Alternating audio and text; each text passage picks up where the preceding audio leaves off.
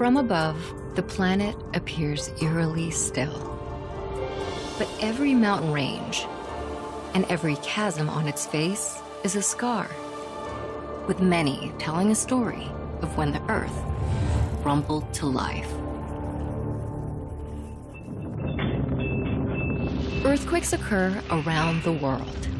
They've been recorded on all seven continents, but most quakes take place in just three regions.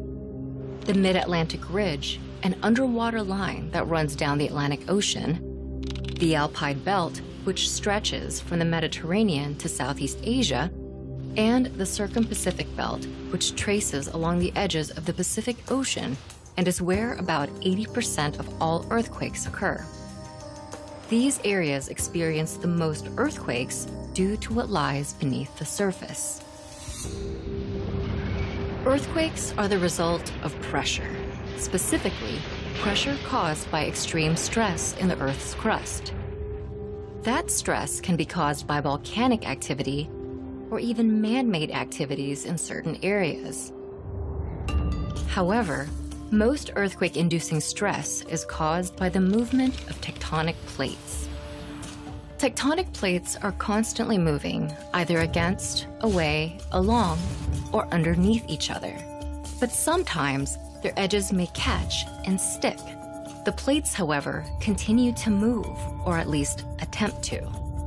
Energy from this attempted movement builds around the edge's sticking point, creating immense pressure until the edges are forced to let go and the plates slip. This causes a sudden and powerful release of energy, so powerful that it breaks the Earth's crust. This fracturing emits shock waves through the ground and causes intense vibrations, or quakes. In fact, the world's most earthquake prone regions are where the most geologically active plates meet. Earthquakes, or any seismic activity, are recorded by seismographs. When the ground shakes, seismographs oscillate, drawing a jagged line to reflect this movement. The more extreme the earthquake, the greater the height of the jagged line.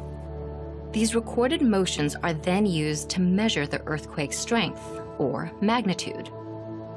While several scales of magnitude exist, the one seismologists prefer is the moment magnitude scale. It has no upper limit and it measures earthquakes logarithmically. This means that each magnitude on its scale is 10 times greater than the one before it.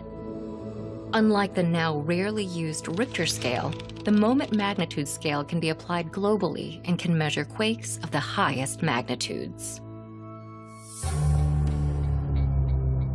The largest recorded earthquake occurred near Valdivia, Chile in 1960. Nestled within the Circum-Pacific Belt, the Valdivia earthquake was the most powerful in a series of quakes that struck the region, measuring at a magnitude of about 9.5. In addition to causing devastating tremors on land, the earthquake also generated a deadly tsunami reaching up to 80 feet high. The tsunami raced across the Pacific Ocean, hitting faraway countries like the Philippines and Japan. In fact, data from seismographs show that the shock waves emitted by the Valdivia earthquake continued to shake the entire planet for days. Some earthquake prone areas have adapted various ways to protect their communities. Buildings and bridges are designed to sway rather than break when an earthquake occurs.